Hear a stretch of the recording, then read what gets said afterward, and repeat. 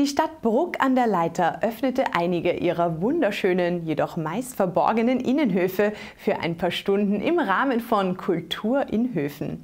Begleitet wurde dies von einem vielfältigen kulturellen Programm mit Musik, Lesungen, Theater und Ausstellungen verschiedener Künstler.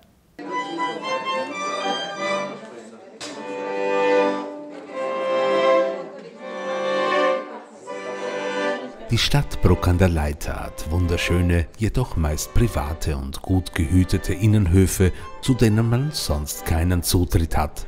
Um dies der Öffentlichkeit für einen Tag zu ermöglichen, wurde die Veranstaltung Kultur in Höfen ins Leben gerufen. Dabei wurde, wie der Name schon verriet, in jedem der elf Höfe auch kulturell etwas geboten.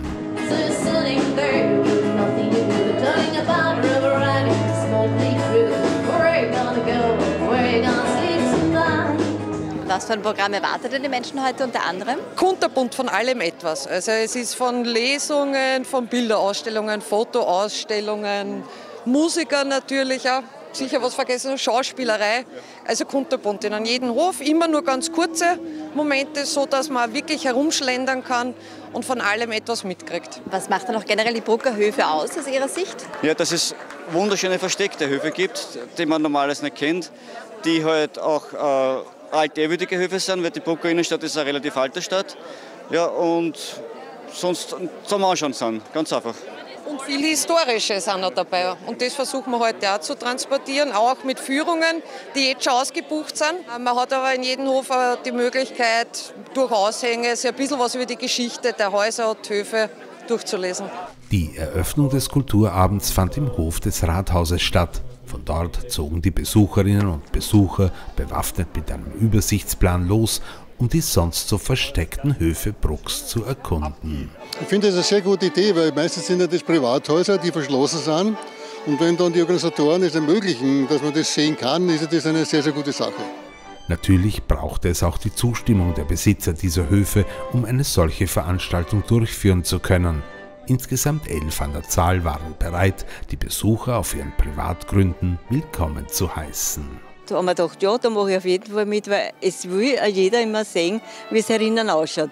Wenn es da offen ist, sind die Leute herinnen, die wollen schauen. Aber ist ja schön, wenn das so ist, nicht? Ich war so überrascht, als ich ja erst vor kurzem erfahren davon und gratuliere den Initiatoren. Die haben das hervorragend gemacht. Und es sind sehr, sehr viele gepflegte, wirklich mit Liebe gepflegte Höfe, nicht verkommene Höfe und das ist, glaube ich, sehr interessant. Ich bin überwältigt, wie viele Besucher wir haben. Also wirklich ein tolles Event.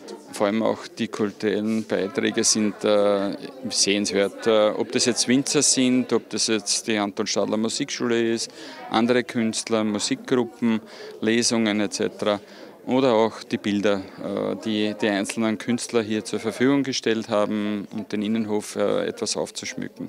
Was genau haben Sie denn heute hier alles mitgebracht? Also ich habe meine abstrakten Bilder mitgenommen, die ich seit vier Jahren schon male und ja, ich habe es mir selbst beigebracht und ich finde es so toll, dass in, in, in Bruck das mit den Höfen gemacht wird, mit den Kultur. Also ich finde das ganz toll. Und in diesem speziellen Hof sieht man eben meine Kunstwerke, Aquarelle, die sich an der Natur orientieren. Hier erinnern ist die Ausstellung, das ist mein Weinkeller. Dieses Gewölbe ist ca. 800 Jahre alt, das habe ich mir vor ein paar Jahren hergerichtet. Äh, war sehr viel Arbeit, hat auch ein bisschen was gekostet, aber wir haben eine große Freude damit. Was sollen denn auch die Besucher mitnehmen von dieser Veranstaltung aus Ihrer Sicht? Mit welchem Gefühl sollen sie nach Hause gehen? Vielleicht Ambition selber auch, noch nächstes Jahr den Hof selber aufzumachen. Dann sind es noch mehr Höfe, heuer sind es elf. Vielleicht schaffen wir nächstes Jahr schon mehr, weil es einfach eine Aspiration ist zu sagen, wow, machen wir mit.